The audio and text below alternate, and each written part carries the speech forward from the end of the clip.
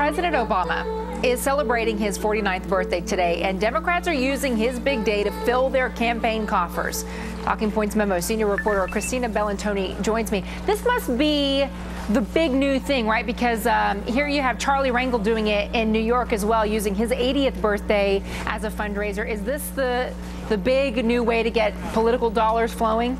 Well, this is this is a big story, Contessa. I've been tracking it for about 12 months here, and uh, yeah, it's it's certainly something that you're seeing a little bit more of. Just before I came on air, actually, Robin Carnahan, the Senate nominee on the Democratic side in Missouri, her mom Jean Carnahan asked people to donate $49 for her 49th birthday. So it's definitely getting a lot, but it's not the newest thing because people have done this for a while. Any gimmick to raise money is uh, something people are going to try. They're kind of beating me to the punch here, showing some of the events, but I'm looking at 545. We're showing a Hawaiian luau in Austin, Texas, a presidential potluck in Phoenix, and 49 candles for America in Des Moines, Iowa, and the Yes We Cake celebration in Evanston, Illinois. But again, 545 themed events around the country.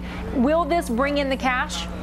Well, it, will probably do a little bit more of that grassroots organizing that, that the Obama for or the Organizing for America group basically has been doing since Obama was elected. This started with the Obama for America campaign in 2007, 2008. Don't forget, they actually held events to celebrate the anniversary of his opposition to the Iraq war speech. So this is something that they've done for a while. They, they peg things to big dates, and then they get supporters to come out, sign mailing lists, get organized, talk to voters.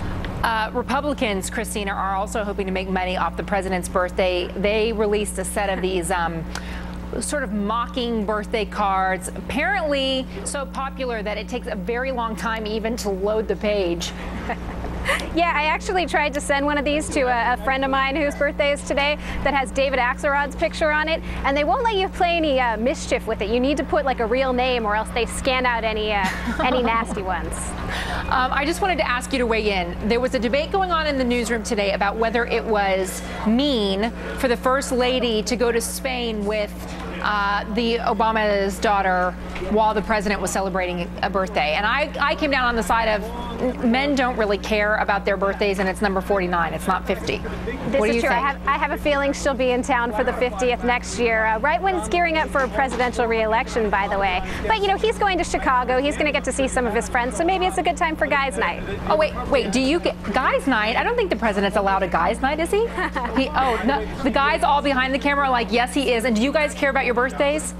No. They're all shrugging. No, they don't care. Christina, thank you very much. Appreciate your time. Thanks, Contessa. We've